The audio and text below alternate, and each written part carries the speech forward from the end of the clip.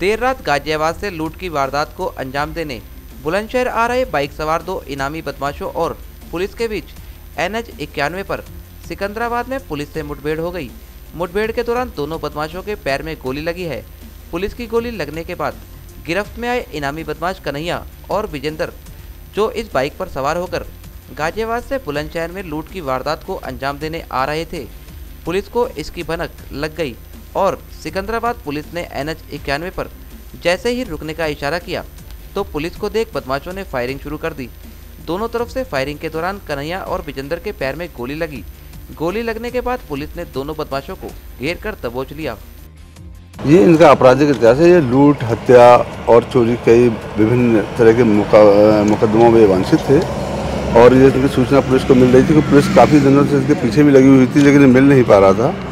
तो ये किसी बड़ी घटना को अंजाम देने के लिए क्योंकि इनका एक साथी अभी जेल में बंद है उसको छुड़ाने के लिए पैसा इकट्ठा कर उसको छुड़ाने के प्रयास में थे जैसा इन्होंने पूछताछ में बताया। यहाँ मंडी है मंडी में ये किसी बड़े व्यापारी को प्रातः लूटने के लगभग तीन बजे के करीब निकले और तीन बजे लूटने के प्रयास में थे क्योंकि लोग उस समय सोए रहते हैं थोड़ा ऐसे में जो है इनको मौका मिला है पहले भी इन्होंने वारदात लगभग इसी टाइम पे की है। तो आड़ती से किसी से लूट करना किसी आरती से लूट करना चाहते थे। अच्छा सर कितने कितने के इनामी हैं जो बदमाश घायल हुए? पच्चीस पच्चीस हज़ार के इनामी है। ये दो ही लोग थे या और भी कोई? दो ही लोग थे।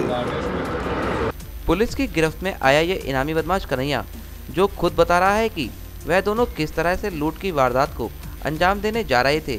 कन्हैया की माने तो बुलंदशहर जेल में इसके साथी बंद हैं जिन्हें छुड़ाने के लिए पैसों की ज़रूरत थी और पैसों की ज़रूरत को पूरा करने के लिए यह बदमाश आज गाजियाबाद से बुलंदशहर में लूट की वारदात को अंजाम देने जा रहे थे। बदमाशों के कब्जे में से एक मोटरसाइकिल एक पिस्टल एक तमंचा और कुछ ज़िंदा कारतूस बरामद किए गए हैं। हाँ क्या नाम है तुम्हारा? है मेरा। हाँ क्या करने आए थे? लूट के फिराक में आए थे। लूट करना चाहते थे? हमारे साथी जेल में बंद है उन्हें पैसा इकट्ठा करके उन्हें छुड़ाना चाहते थे। अच्छा फिर? जैसे ही इन को पता पड़ी पुलिस वालों को तो हमारी मुखबारी बैठ गई थी। हम्म। तो हम सीधे जैसे भागे तो हम यहाँ पे गिर गए। हमारे को हमने भी इन्होंने फायर करी तो हमने भी फायर करी। अच्छा। फायर करने पे हमारे गोली टांग में लगी तो हम यहाँ पे गिर गए। अच्छा अच्छा। तुमने कितने राउंड गोली चलाई थी?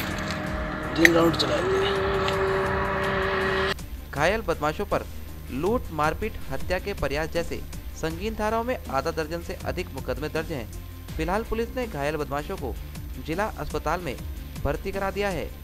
कमल पवार के साथ तेज निगाह के लिए जनपद बुलंदशहर से रिजवान अंसारी की रिपोर्ट।